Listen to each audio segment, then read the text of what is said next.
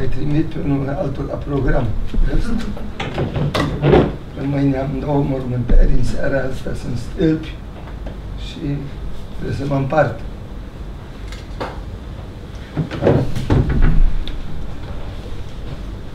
Iubiți părinți, iubiți credincioși, iubitori de adevăr, iubitori de învățătură vie, iată noi amintindu-ne de dascăli, fie de la catedră, fie de la locul de suferință, pentru că și suferința este un loc de învățătură sau o modalitate de a învăța. Prin suferința cea asumată pentru Hristos, pentru credință, pentru țară, cu adevărat înțelepciunea își vădește razele sale.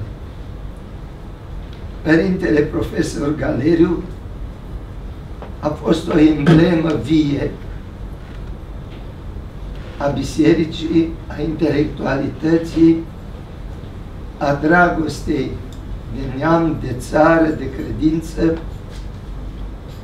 un om ales și cu totul dăruit lui Dumnezeu și semenilor săi. De aceea este chiar o mare îndrăzneală să evocăm în cuvinte sărace personalitatea Părintelui Profesor Galeriu. Ocupă un loc aparte în spiritualitatea noastră a secolului al XX-lea, mai ales secolul cel mai frământat din ultima vreme, sigur, secolul al XX-lea a fost secolul care, înainte de jumătatea, s-a, în anii 40, a marcat istoria țării noastre într-un mod foarte hotărât. A marcat adânc istoria și spiritualitatea românească. Sigur, tot secolul al XX-lea a fost un secol al frământărilor, al durerilor, pentru că a cuprins cele două războaie mondiale. S-au referit atâția intelectuali și chiar teologi la perioada interbelică, o perioadă care după primul război mondial a adus frământările omenești deasupra preocupărilor obișnuite. Era după un război foarte dureros și plin de jertfe și în așteptarea altui război, care, iată, a marcat istoria țării noastre. După al doilea război mondial, încep adevăratele frământări, pentru că se schimbă, am spune, o rânduire omenească în țara noastră, deoarece după o perioadă de libertate între cele două războaie mondiale, literatura și teologia, în special, au cunoscut niște repere specifice. Parcă pregăteau perioada cea grea care avea să, urmea, să urmeze perioada martiriului. Martiriul a început de la sfârșitul anilor 40. Odată cu plecarea regelui, venirea unei conduceri care a avut într-adevăr alte orientări, se suprima libertatea religioasă și libertatea de conștiință, era îngrădită și era lăsată cu puține elemente de înfățișare a demnității omenești și demnitatea omenească a fost siluită cumva, a fost îngrădită. De aceea, în această perioadă, au apărut suferințele, dar și personalitățile cu cea mai înaltă demnitate. Pentru că în suferință, acolo se cântărește demnitatea. Mari duhovnici au fost hăituiți, dar ei n-au tăcut, s-au ascuns în diferite locuri. Și aici vorbim de Părintele Cleopa, de Părintele Sofian, de Părintele Adrian,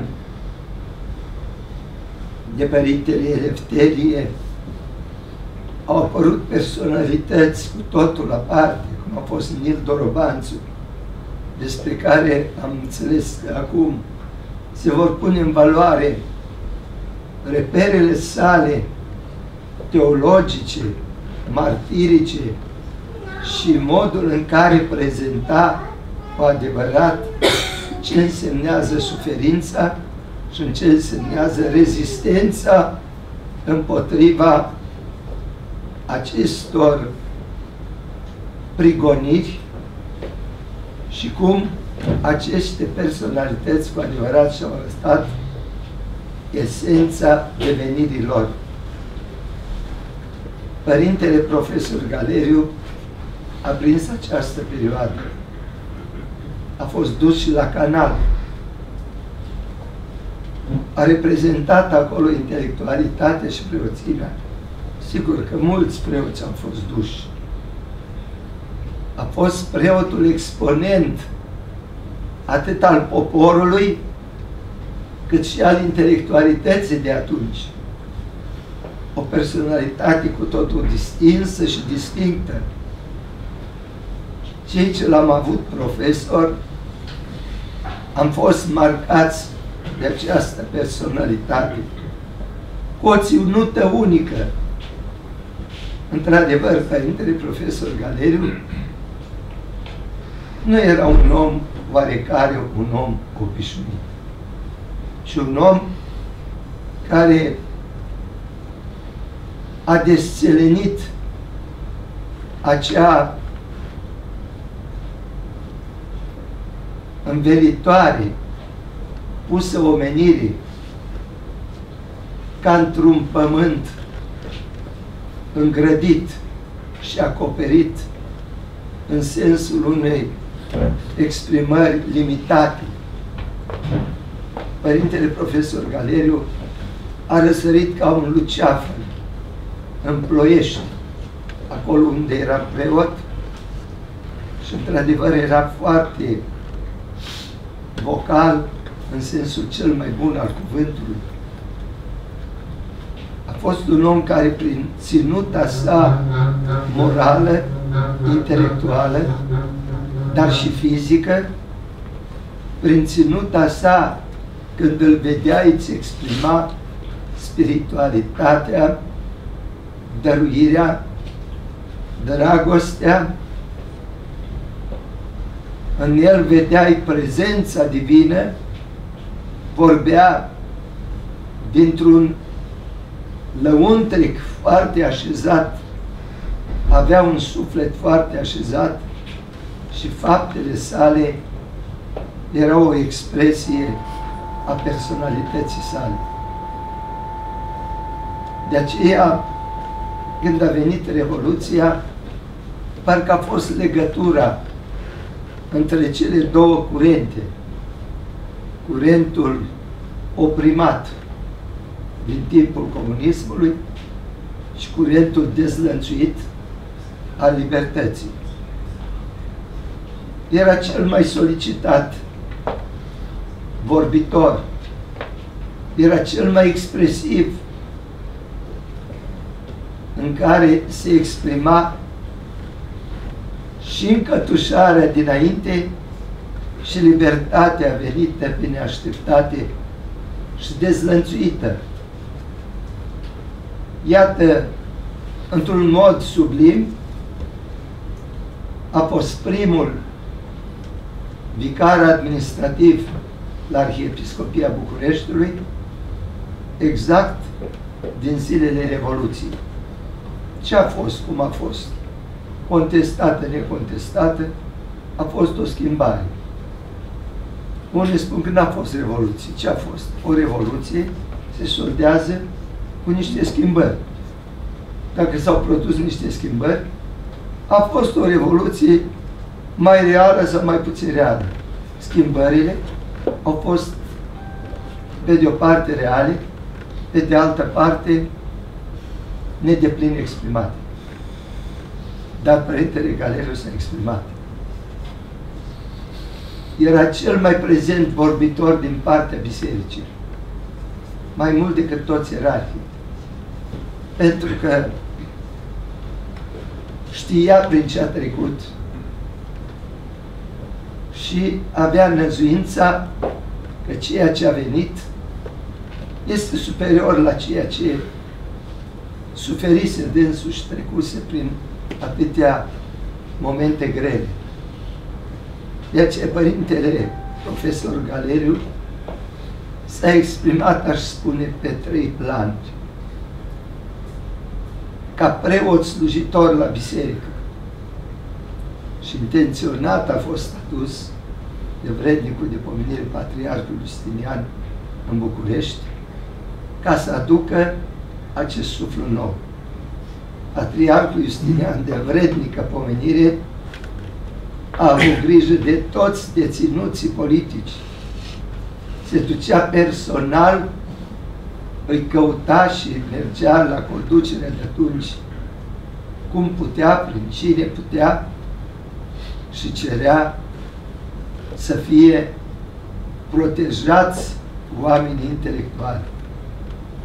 Prin ce a protejat cel mai mult intelectualii care au suferit și au fost în închisori? Pe toți cei talentați i-a dus la Patriarhie. I-a pus la ateliere, a făcut ateliere de pictură, de sculptură, în Palatul Patriarhal, sunt urme ale unor mari artiști care au fost arestați și iată, aceia și-au găsit un loc să-și câștige pâinea și mărturiseau, iată, cei care au făcut 17-15 ani de pușcărie, cât de mult i-a ajutat Patriarhul Justinian.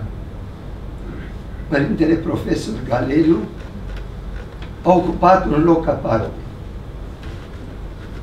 Nimeni n-a avut o ținută ca Părintele Galeriu. Puțin preoți umblau în ținută, prin oraș, prin tramvai, că nu mergea cu taxiul niciodată. Și avea ținuta lui cu barba inconfundabilă lungă, cu haina neagră, era întâmpinat de oameni necăjiți, avea în buzunare câteodată, ca totdeauna ținea niște bani în buzunare, la fiecare dădea, și iată, un martor descrie atât de frumos, odată era noapte și a găsit un om desculț. Ce să-i facă? I-a dat încălțămintea lui, și a plecat desculți. Câți au putut să facă acest gest? De aceea a fost un om unic în mărturisirea credinței, nu numai prin cuvânt, dar și prin fapte. Și era între mari vorbitori la Patriarhie. Sigur că la Biserica Silvestru ca să se poată exprima, să susțină o temă frumoasă. Părintele profesor nu putea să vorbească mai puțin de o oră. Dar nu plecau ascultătorii enoriași, ci din potrivă îi sorbeau cuvintele pline de tâlc, pline de învățătură. De aceea, iată, și noi, studenții, i-am sorbit cuvintele de învățătură. Întotdeauna venea cu ceva practic, cu ceva care să ne convingă. Era foarte darnic la note. Nu era exigent. Era exigent mai ales privind moralitatea. Cerea la studenți moralitate, viață de implicare morală și sigur că era întotdeauna un om al bunătății care trecea dincolo de dreptate. Bunătatea părintelui profesor Galeriu te copleșea întotdeauna. Și ținuta sa impecabilă, adevărat, un om care vorbea cu gândul, cu cuvântul și vedea întrupată în ținuta lui și fapta, ceea ce vorbea, vorbea se exprima prin ținuta lui unică și plină de pildă, de purtare, de înțelepciune și de dragoste. Sigur, cu un lucru era nonconformist. În timpul Patriarhului Justin, sigur, profesori în special și mai mulți, eu eram atunci civil, dar făceam parte din cei ce țineau predici la Patriarhie. Îmi luam stihar și țineam predică la Patriarhie, la catedrală și părintele profesor era între acești predicatori. Era timpul limitat. Nu trebuia să vorbești mai mult de 15 minute. Era și un fel de cronometru. Părintele profesor, sigur, a apucat să facă introducerea în timpul acesta. Dar introducerea aceasta avea atâtea nuanțe și atâtea repere încât ținea loc de întreaga predică.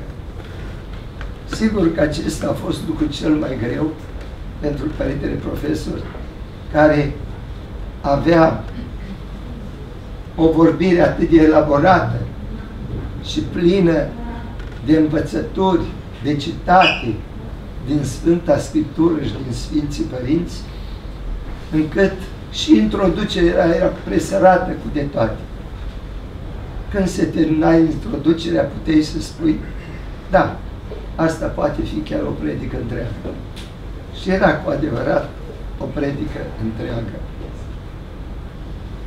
Iată, ne aducem aminte cu emoție, cu bucurie, cu recunoștință de un stâlp al învățământului teologic din vremea aceea, dinainte de timpul libertății și Părintele Profesor Galeriu a fost cu adevărat un om complet, un slujitor complet. Nu putem, dar nu e timpul să vorbim acum pe Părintele Stăniloae pe care l-am prins doar ținând conferințe, ținând teme. Nu l-am avut profesor. Părintele Stăniloae venea ca intelectualul teolog care aducea vârful teologie în fața ascultătorilor. Părintele profesor Galeriu era de teologie practică. Într-adevăr, catedra la care preda era de o teologie practică. De aceea, iată, această teologie practică l-a făcut atât de receptat de cei de atunci, dar și de cei de acum. Toți cei ce citesc predicile Părintelui Profesor Galeriu nu pot să nu fie mișcați. Pentru că o condiție a predicii este de a fi profetică și de a mișca inima. Părintele Profesor mișca inima dincolo de intelect. Se adresa și intelectului, dar se adresa mai mult inimii, ca să-l scoate pe om din amorțire, să-i trezească conștiința. Și iată că astăzi avem primul caiet din cuvintele de învățătură ale Părintele Profesor Galeriu și sunt minunate toate. Și mă bucur că vor mai fi încă cinci din acestea. Deci, iată, cuvântări ținute și rămase ca o mărturie din vorbirea Părintelui Profesor Galeriu și sunt pentru noi astăzi niște perle, niște nestemate, pentru că întotdeauna când vorbea cu vocea sa baritonală, cucerea și prin aceasta. Avea și o voce gravă și ridica și tomnul când voia să nuanțeze și, într-adevăr, dădea expresie cuvintelor sale, punea în valoare prin tonalitate și cuvintele foarte tăioase ale Sfintei Scripturi, pentru că aceasta trebuie să înțelegem ce cuprinde Sfânta Scriptură. Cuvântul lui Dumnezeu. Sfântul Apostol Pavel ne dă definiția predicii dumnezeiești. Pentru că Mântuitorul cine a fost? Cel mai mare predicator al lumii, cel mai mare profet, profetul profeților, cel mai mare slujitor, arhereul cel de plin și veșnic. Și iată Sfântul Apostol Pavel, care este tălmăcit de Sfântul Angură de Aur, într-un mod sublim, a îndrăznit să spună că dacă nu tălmăcea Sfântul Apostol Pavel Sfintele Evangheliei, trebuia să mai vină Mântuitor a doua oară, atât de adânc și de clar a tălmăcit Sfântul Apostol Pavel cuvintele Mântuitorului, ce spune despre cuvântul Sfintei Scripturi și mai ales despre cuvintele Sfintei Evangheliei.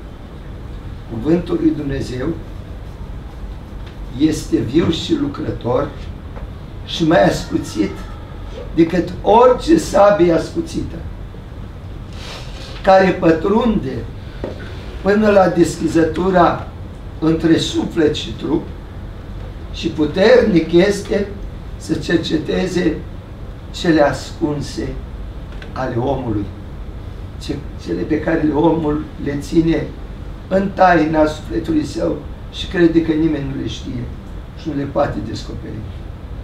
Cuvântul lui Dumnezeu te ajută să te descoperi pe tine însuți, să descoperi răul din tine, binele pe care l-ai ocolit sau nu l-ai împlinit. Și iată Părintele Profesor Galeriu, în cuvântările sale, se axează pe această direcție a Cuvântului lui Dumnezeu, care trebuie să fie pus în valoare practic și nu doar teorie. Noi am avut în biserică mari învățători de cuvinte care au scris iscusit, precum filosofii, că și filosofii au scris iscusit. Când asculți cuvântul, te încânți cu el, mintea se încântă, dar inima nu se mișcă. Părintele profesor Galeriu a urmărit mișcarea inimii, trezirea conștiinței și punerea în valoare a fiorului Sfânt Dumnezeiesc, pentru că orice cuvânt dumnezeiesc era ca și o faptă. El pătrundea adânc și te provoca să răspunzi. De aceea și Dumnezeu când striga pe profeți, cum l-a strigat pe Moise, când era curios de focul ce ardea și nu se mistuia. Moise, Moise, și el deodată a tresărit. Iată-mă, ce este, Doamne? Cum a zis și Iisus Hristos, Sfântul Apostol Padre care mergea să lege pe creștini, Saule, Saule, de ce mă prigonești? Sigur că era cuvânt ca de tunet, acel cuvânt. Și atunci el a întrebat, dar cine ești, Doamne? Eu sunt Iisus Nazarineanul pe care Tu îl prigonești. Fiecare dintre noi trebuie să fie și un Saul. Că Saul n-ar fi scris, după ce a devenit Pavel, a scris. Cât a fost Saul, n-a scris, doar a învățat. Și a învățat în litere. După ce devine Pavel și caz solzi de pe ochi după botez și merge în Arabia și se învrednicește de vedenii, este un alt om, om nou. De aceea vorbește despre omul vechi și omul nou. Nimeni nu vorbește mai expresiv despre omul vechi și despre omul nou ca Sfântul Pavel, pentru că vorbește din experiență. De aceea Părintele Profesor Galeriu vorbea și el dintr-o experiență. A avut experiența surghiunului la canal și alte experiențe și amenințări și sigur a înțeles ce este lipsa libertății și ce însemnează libertate. Și s-a dezlățuit a evea după Revoluție, când atâția oameni au sorbit cuvintele, a fost chipul cel mai emblematic al bisericii noastre după Revoluție și, într-adevăr, a pus în valoare cuvântul lui Dumnezeu și a pus biserica în lucrare, de aceea îndată s-au pregătit locuri de biserici peste tot și iată, cuvântul lui Dumnezeu a urnit și a trezit conștiințele adormite și biserica a început să aibă cu adevărat reperele sale în societate. Așa au apărut preoții de caritate în spitale, în azile, în penitenciare, în armată, chiar și la Ministerul de Interne, care era până atunci privit ca un minister opac, închis, încât Părintele Galeriu este un desțelenitor în biserica noastră și un chip ce trebuie respectat, căutat și urmat, un vorbitor de o ținută excepțională, un dascăl al punerii în valoare a virtuților, de aceea, iată, am mai citat într-o prefață și aș vrea să citesc și aici, nu ne repeta aproape obsesiv, știind că toți tinerii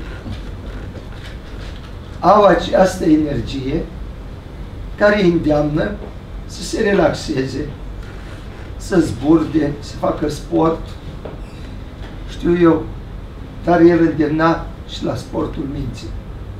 Sportul minții era mai de valoare decât sportul fizic. Sau, după cum zice Scriptura, sportivii să știți că sunt oameni disciplinați și credincioși cei mai mulți dintre ei. Am testat și am constatat acesta. Nu degeaba Sfântul Apostol Pavel aseamănă sportivii care se luptă pentru o cunună temporară, îi dă exemplu pentru creștini, ca cei aleargă, ca să poată să alerge, mănâncă măsurat, fac exerciții fizice și duc o viață de echilibru. De ce? Ca să ia și ei o medalie. Creștinul, cu atât mai mult trebuia să ia exemplul sportivului, pentru că se luptă și el pentru o cunună. Dar nu pentru o cunună trecătoare, ci pentru una veșnică. Și cununa creștinului, dacă a intrat în rai, nu are o strălucire de moment, ci strălucirea cununii creștinului este mereu în creștere.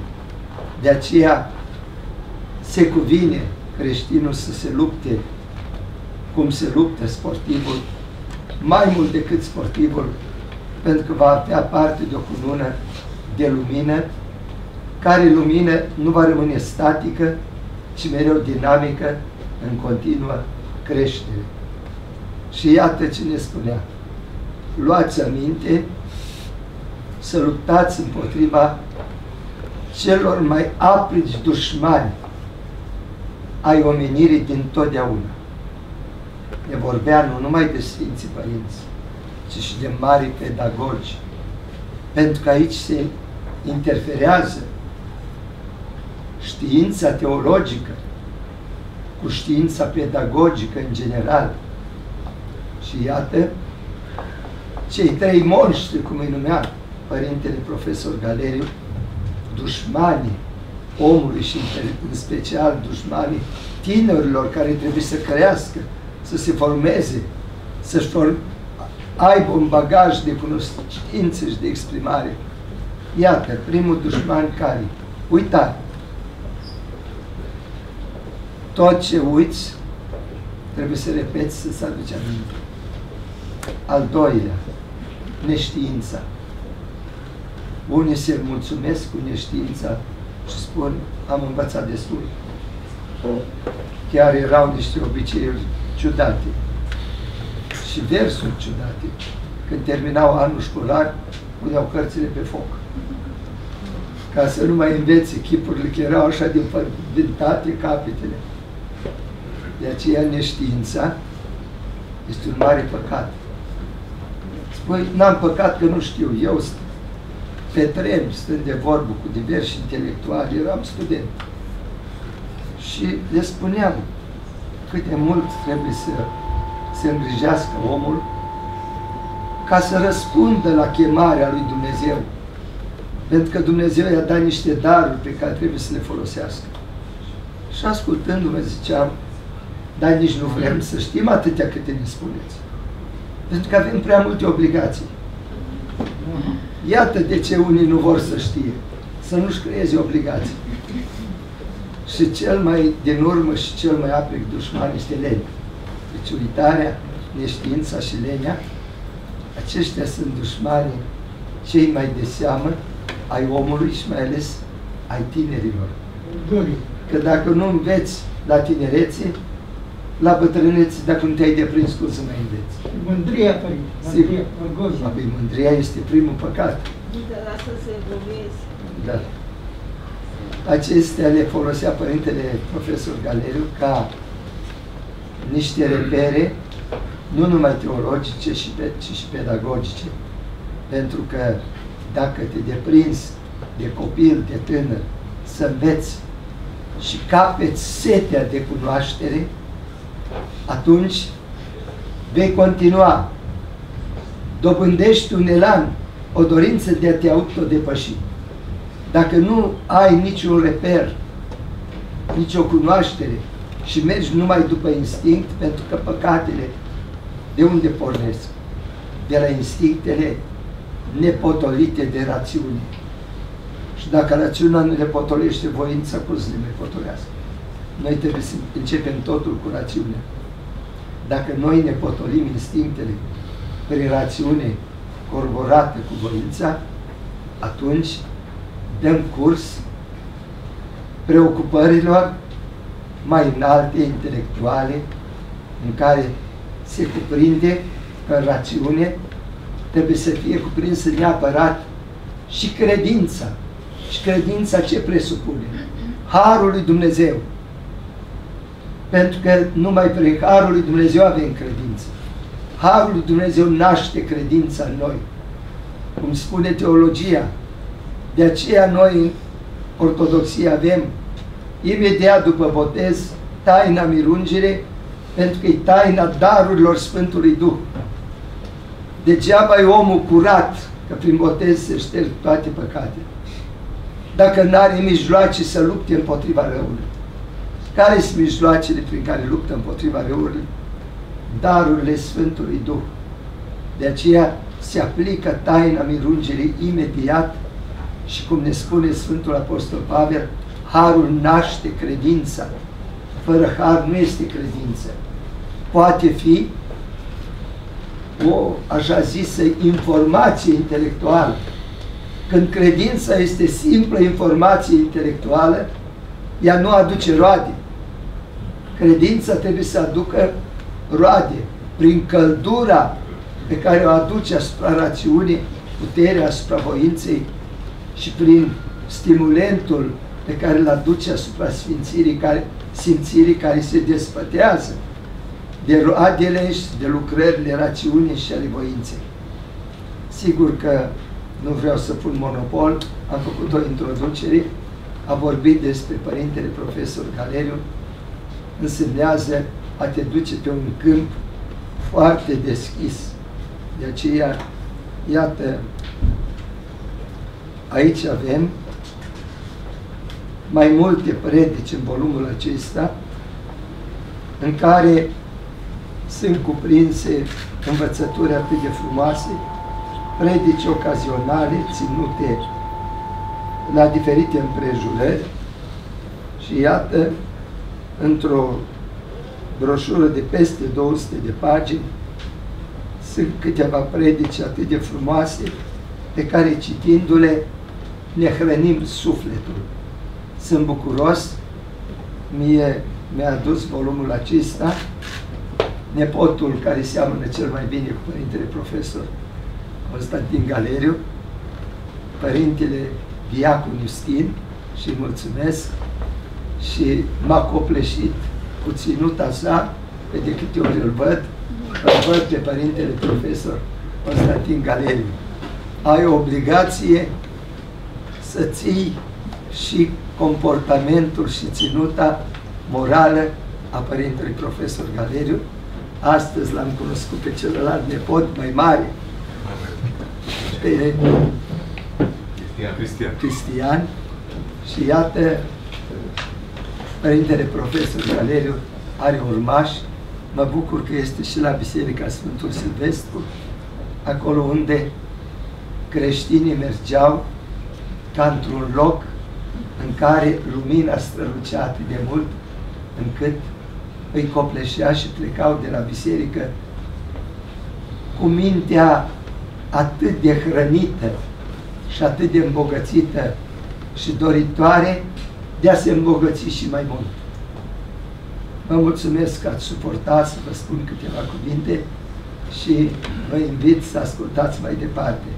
Eu curând mă voi furișa, dar știu că se înregistrează și abia aștept să ascult pe toți vorbitorii. Trebuie să merg că moartea nu e programată și cineva care ne-a ajutat foarte mult, iată, trebuie să merg la stâlp, să vorbesc puțin. Mâine am două mormântări, un preot de 39 de ani. Și soția fostului prefect, domnul Gheorghe Martin, care ne-a ajutat foarte mult. Da, titor de biserici, mare titor la Sfântul Andrei, a fost domnul Gheorghe Martin și cu dânsul am mers și am pus temerirea câteva mănăstiri, un om intelectual și credincios. Și sigur am aceste obligații morale pe care trebuie să le îndeplinesc. Să mă scuzați, o să mă uit la ceas și când de ceasul fug să nu vă luați rămas bun, că ne reîntâlnim.